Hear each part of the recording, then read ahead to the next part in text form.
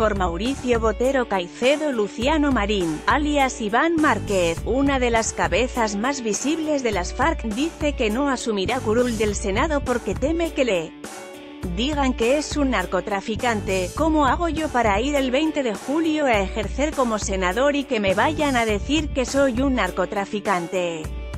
Yo no estoy para esas cosas, necesitamos respeto, prefiero dejar esa joda ya.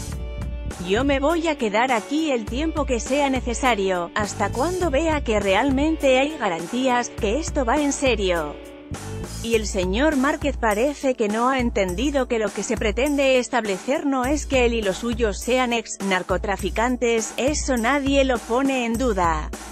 Lo que se está investigando es si siguen siendo narcotraficantes.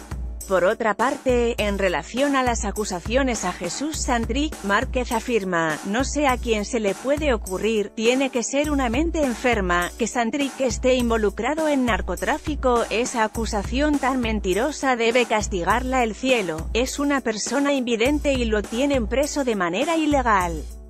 Hay dos legítimas preguntas para Márquez, la primera es en relación cuando afirma que, me voy a quedar aquí el tiempo que sea necesario, hasta cuando vea que realmente hay garantías, que esto va en serio, que...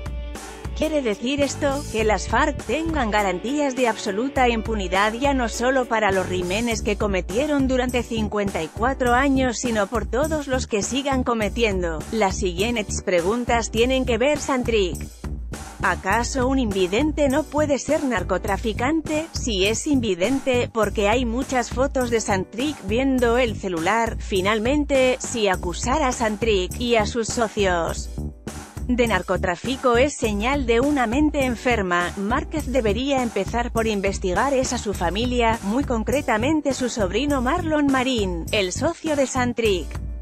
Marlon aceptó irse a EU1 para visitar a Disneyland en Orlando, sino para cantar.